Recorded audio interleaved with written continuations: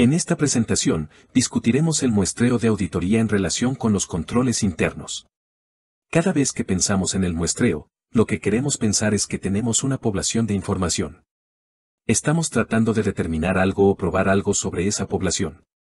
Queremos hacer pruebas no a toda la población, sino a alguna muestra de algún subconjunto de la población con la esperanza de obtener información que sea representativa de toda la población. Y podemos comparar esto a menudo con cosas como las encuestas, si sus encuestas de opinión, la gente realiza encuestas de opinión y a menudo lee sobre encuestas de opinión, las encuestas de opinión van a ser la opinión de algún subconjunto de un grupo al que se le ha hecho preguntas o características particulares en algún formato.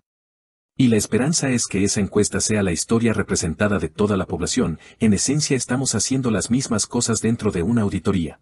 Pero dentro de una auditoría, tenemos que determinar cuál es la población con la que estamos, estamos tratando de muestrear cuál es la característica específica que estamos muestreando. Y aplicaremos el muestreo a los controles a menudo cuando estemos probando los controles, y luego podríamos aplicar el muestreo a ciertos tipos de pruebas con respecto a las pruebas sustantivas. Así que aquí estamos pensando en el muestreo de auditoría, estamos pensando en las pruebas de controles. Tanto el método estadístico como el no estadístico de muestreo de auditoría están permitidos por las normas de auditoría. Hablaremos más sobre cuáles son estos dos elementos. Pero tenga en cuenta que este método estadístico va a ser un tipo de método más preciso que un método no estadístico. Sin embargo, va a ser más costoso aplicar un método estadístico y profundizaremos más en el futuro. Sobre eso, tenga en cuenta que, en otras palabras, normalmente pensaríamos que el método estadístico sería el mejor método la mayoría de las veces porque es más preciso, sin embargo, los métodos no estadísticos siguen siendo aceptables y pueden ser apropiados. Dadas las circunstancias, el número de veces que un auditor necesita aplicar técnicas de muestreo para recopilar evidencia de auditoría ha disminuido debido a dos desarrollos, sistemas de contabilidad automatizados bien controlados y un potente software de auditoría para descargar y examinar poblaciones enteras de datos. En otras palabras, si estamos probando tipos de elementos que van a ser de naturaleza muy repetitiva, si tenemos un sistema informático bien diseñado, entonces el sistema informático será capaz de calcular esa información con un alto grado de precisión mientras que en el pasado, si se hacía a mano, entonces tendríamos que pasar y hacer más pruebas, porque sería más probable que hubiera más errores. Por lo tanto, la automatización de las cosas que se van a sistematizar o estandarizar significa que generalmente podemos confiar en el sistema y verificar que las entradas sean correctas. Y si lo son, y es un proceso de cálculos muy estandarizado o establecido, entonces se puede confiar en la computadora en términos de control y pruebas menos sustantivas que serían necesarias menos pruebas o menos muestreo. También contamos con un potente software que se puede utilizar en el lado de la auditoría, que puede descargar conjuntos completos de información. Entonces, en ese caso, si básicamente pudiéramos ingresar conjuntos enteros de información, en lugar de revisar manualmente esa información, y luego establecer en el sistema informático que estamos buscando ciertos criterios, que son fijos, entonces la computadora, si tenemos esos criterios que son muy fijos, y son capaces de que la computadora pase a través de la computadora puede revisar grandes cantidades de datos, y buscar conjuntos estándar de elementos que se estandarizarían para que una computadora lo hiciera si ese es el tipo de pruebas que se necesitarían, básicamente podemos probar a toda la población, dado el hecho de que tenemos la potencia de la computadora, y básicamente podemos dar las entradas, que están todas estandarizadas. Para que la computadora haga ese tipo de muestreo de información sigue siendo necesario hasta cierto punto, por las razones que se exponen a continuación.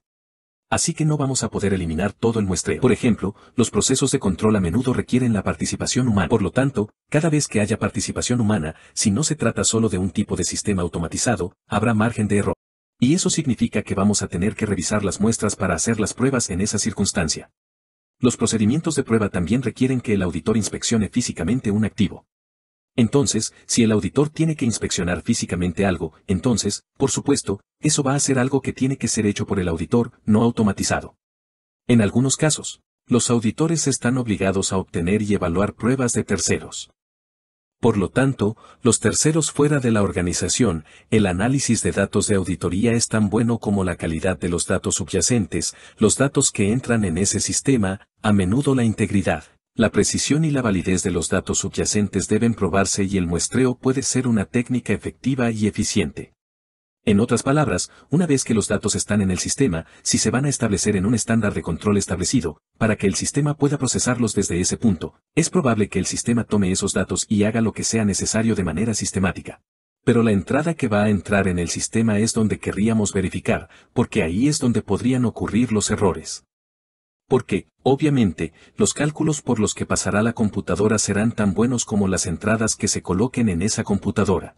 El análisis de datos de auditoría a menudo identifica un gran número de excepciones potenciales que el auditor también puede probar mediante muestreo. Los conceptos clave que se incluirán al pensar en el muestreo serán la muestra de auditoría, el riesgo de muestreo, el nivel de confianza y el error tolerable y esperado. Estamos analizando estos términos con más detalle, comenzando con el muestreo de auditoría, el muestreo de auditoría, la selección y evaluación de menos del 100% de los elementos de una población de auditoría seleccionados de tal manera que el auditor espera que la muestra sea representativa de la población y, por lo tanto, es probable que proporcione una base razonable para la conclusión sobre la población en su totalidad. Así que, de nuevo, auditar el muestreo, la selección y el valor y la evaluación de menos del 100% de los elementos dentro de una población. Así que tenemos una población caliente, que por supuesto representa el 100%, queremos tomar algo más que el 100% de ella, porque no queremos probar a toda la población seleccionada de tal manera que el auditor espere que la muestra sea representativa de la población. Entonces, ¿cómo lo hacemos de la manera tradicional es tener un tipo de selección aleatoria de muestras? Sin embargo, es posible que usemos otros tipos de métodos dependiendo de lo que estemos probando. Así que el punto clave aquí es que tiene que ser representativo. Y, por lo tanto, es probable que proporcione una base razonable para llegar a una conclusión sobre la población en su conjunto. Así que vamos a probar ese subconjunto. Y esperamos poder aplicar ese subconjunto de pruebas a la población en total. Luego tenemos el muestreo, la posibilidad de riesgo de que la muestra extraída no sea representativa de la población. Así que ese va a ser uno de los riesgos que tenemos.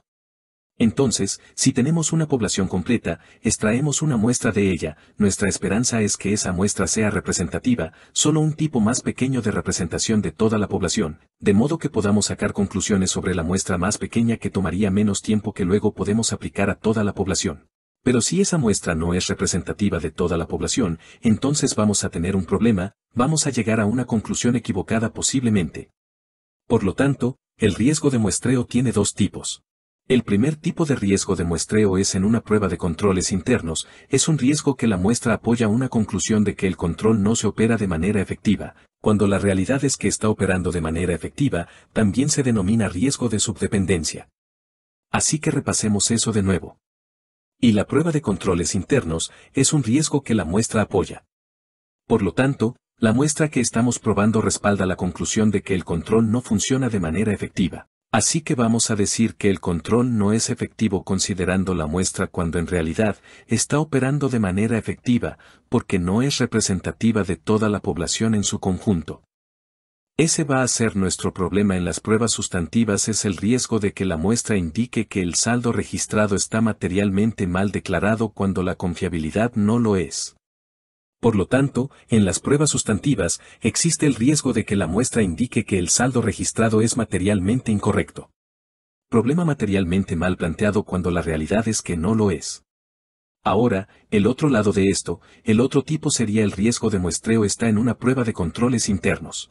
Es el riesgo de que la muestra apoye la conclusión de que el control está funcionando eficazmente, de que está funcionando eficazmente, cuando la realidad es que no está funcionando eficazmente. Entonces, en ese caso, diríamos que la muestra estaba mal, la hemos analizado, porque no era representativa de toda la población, le dimos una limpieza, vamos aquí en el control cuando no estaba bien. Esto también se denomina riesgo de dependencia excesiva. En las pruebas sustantivas, es el riesgo de que la muestra respalde un saldo registrado respalde el saldo registrado. Así que, básicamente, dice que no está materialmente mal declarado cuando en realidad es materialmente incorrecto los factores de riesgo de muestreo en la determinación del tamaño de la muestra. Así que estos van a ser factores para determinar el tamaño de la muestra. Si estamos pensando bien, ahora queremos elegir un tamaño que sea más pequeño que la población para que podamos probarlo, la pregunta es, bueno, ¿qué tan grande es la población que necesitamos? ¿O qué tamaño de muestra necesitamos para ser representativos de toda la población? Así que tenemos algunos componentes de eso, incluido el nivel de confianza, el error tolerable y el error esperado, el nivel de confianza representa el nivel deseado de seguridad en los resultados. En otras palabras, ¿cuál es el nivel deseado de seguridad que necesitamos? El error tolerable es la tasa de defectos aceptable. Así que esa va a ser la tasa aceptable de defectos. Entraremos en un poco más de detalle sobre estas definiciones en breve. Y el error esperado es la tasa histórica de defectos. Ahora echaremos un vistazo a algunos de ellos con más detalle, empezando por el nivel de confianza. Por lo tanto, el nivel de confianza complementa el riesgo de la muestra. Por ejemplo, el auditor puede establecer el riesgo de la muestra para una aplicación de muestreo en particular en el 6%. Por lo tanto, si establecemos el riesgo muestral en el 66%, eso significa que el nivel de confianza sería del 94% al 100% menos el 6%. Error tolerable y esperado. Por lo tanto, el tamaño de la muestra está determinado en gran medida por la cantidad de error tolerable, por lo que la cantidad de error tolerable es mayor que el error esperado. Por lo tanto, el error tolerable sobre el error esperado es mayor que el error esperado una vez que se establece el nivel de confianza deseado. Precisión en la etapa de planificación del muestreo de auditoría, es decir, la diferencia entre las tasas de desviación esperadas y tolerables y la tolerancia al riesgo de muestreo. Ese va a ser el término estándares de auditoría que se usa para referirse a la precisión. En otras palabras, de nuevo, estamos definiendo básicamente en esencia la precisión en la etapa de planificación del muestreo de auditoría.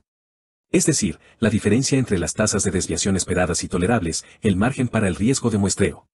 Ese es el término que las normas de auditoría utilizaban para referirse a la precisión.